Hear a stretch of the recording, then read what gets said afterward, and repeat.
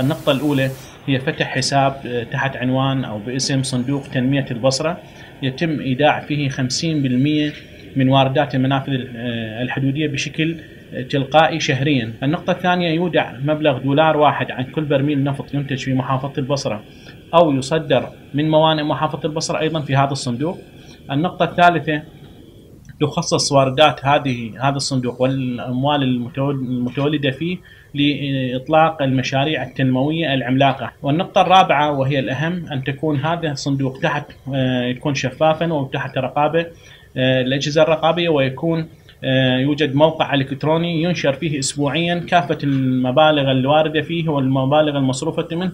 والنقطة الخامسة هي أن تمنح الحكومة المحلية بشقيها التشريعي والتنفيذي الصلاحيات اللازمة لإطلاق هذه الخطة التنموية آه، لمحافظة البصرة. أجملنا هذه العشرين فكرة أو العشرين خطة وهي تنسجم مع الدستور والقوانين النافذة ولها أولويات وأرضية مناسبة. أهمها هو مشروع المحطة الحرارية في الفاو الذي ينتج 3000 ميجا ويوفر مليون متر مكعب من الماء يوميا.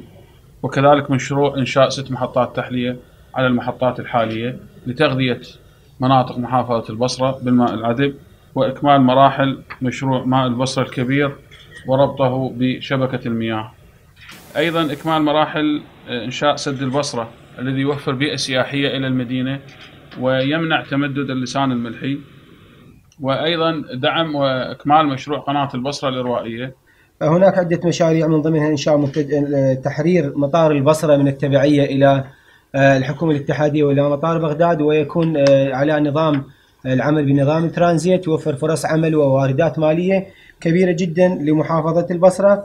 آه، بناء مدينة النخيل المستدامة اللي تشمل بناء مئة ألف وحدة سكنية وتوفير عدد كبير جدا من فرص العمل في خلال بناء المدينة.